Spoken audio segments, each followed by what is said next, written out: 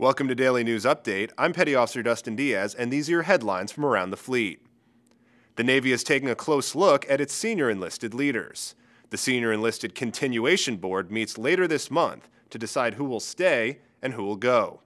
Master Chief Petty Officer of the Navy Rick West discusses specifics and answers questions in his podcast. Find it and the complete story on the MCPONs page at Navy.mil. October 1st will bring another rating merger, this one affecting postal clerks and storekeepers. Officials say the new logistics specialist rating gives LS's broader skill sets, an increase in advancement opportunities, and greater diversity in assignments. From Washington, I'm Petty Officer Dustin Diaz.